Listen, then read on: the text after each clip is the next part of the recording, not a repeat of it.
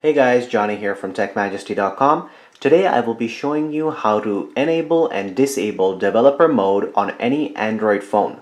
I'm going to be showing you this on the Samsung Galaxy S22, but this will work on any Android phone.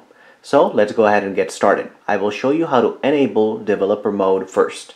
So let's go ahead and slide up, go to settings, scroll all the way down, click on about phone, click on software information and then in order to enable developer mode you will hit build number seven times. So let's go ahead and do that now.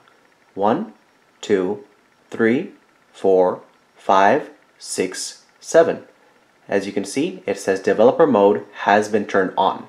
So now let's go ahead and go back. And if you scroll down you will see developer options right there. So that's how you enable developer mode.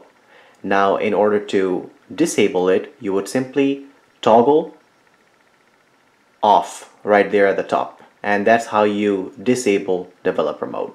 So guys, if this video helped you, please hit that like button and subscribe to our channel. And if you have any questions or comments, please leave them in the comment section below.